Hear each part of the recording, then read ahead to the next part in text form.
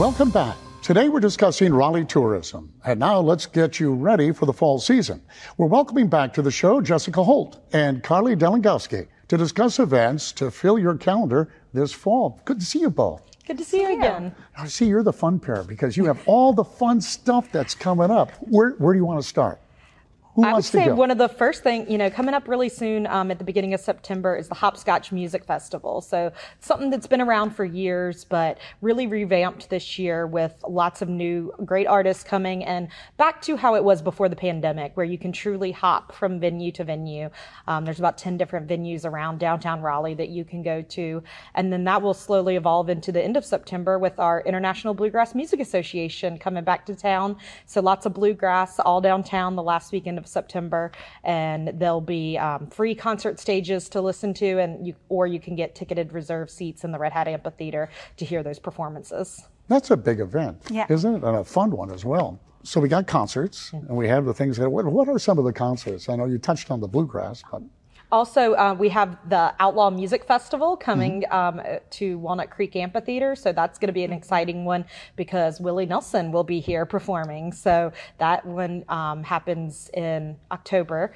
And so that'll be a fun one for people to check out. Um, and then, Red Hat Amphitheater. Oh. We have some shows coming up there. yes. Red Hat Amphitheater concerts um, will be continuing through September and right into the beginning of October, um, as well as other shows at Walnut Creek.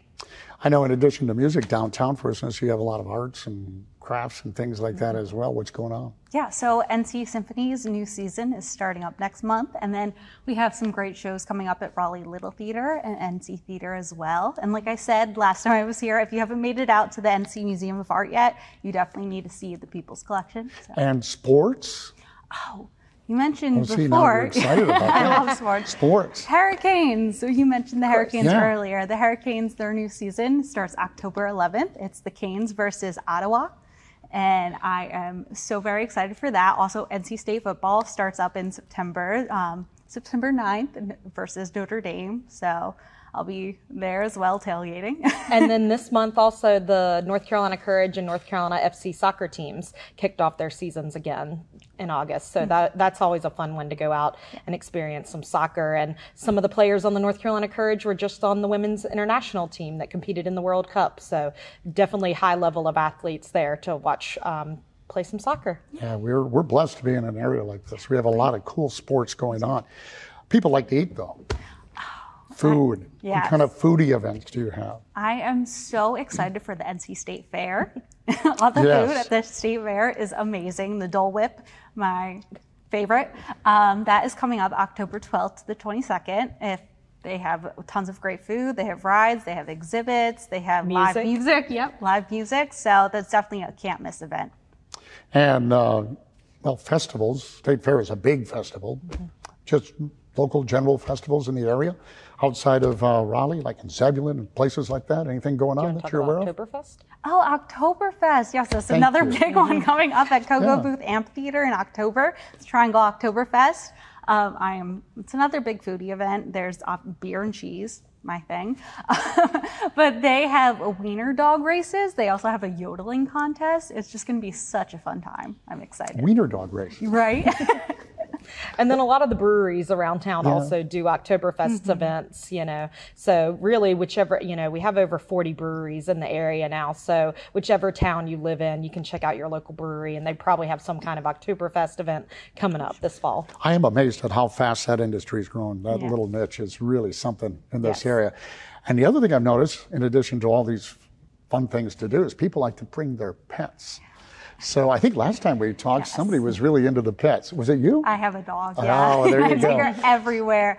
Um, Lafayette Village is having a Petapalooza. It's in October, and it's just really fun little dog festival. There's going to be local vendors. Um, there's going to be dogs for adoption there. It's it's a fun little festival to bring your dog to. Now, is there a place folks can go to? Uh, they may be writing this all down, but uh, to check in to see what's going on in the area. Definitely. They can go to visitraleigh.com slash events. That's our full events calendar. So they can search if it's by specific dates or just what's coming up this weekend. And then they can also separate that out to events downtown Raleigh specific or all the way out to, you know, Apex, Zebulon, and everything in between. All right. Well, I'm going to put you on the spot. Which one, if you could only choose one, should you go to?